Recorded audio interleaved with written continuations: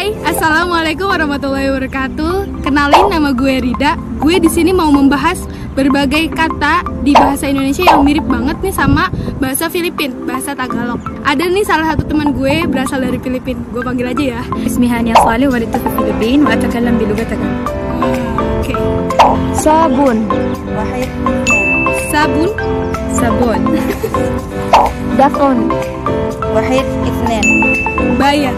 Bayar. Bedunun. Pahit iklan.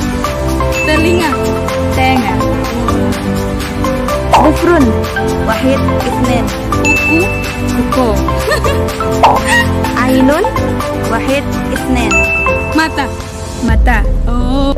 Maraming salamat po sa panonood at paalam. Terima kasih. Sampai jumpa.